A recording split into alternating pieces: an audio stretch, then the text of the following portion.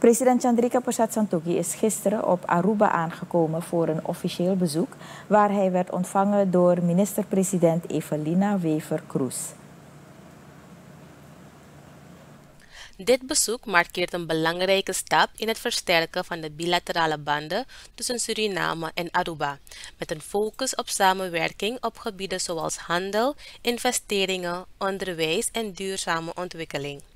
Tijdens het bezoek bracht de president van Suriname een beleefdheidsbezoek aan gouverneur Alfonso Boekhout, waar zij de versterking van politieke, economische en culturele relaties bespraken, met nadruk op verbeterde connectiviteit. In een toespraak in het parlement van Aruba benadrukte president Santokhi het belang van de historische relatie tussen beide landen en de mogelijkheid voor Aruba om via Surinames CARICOM-lidmaatschap meer regionale steun te ontvangen.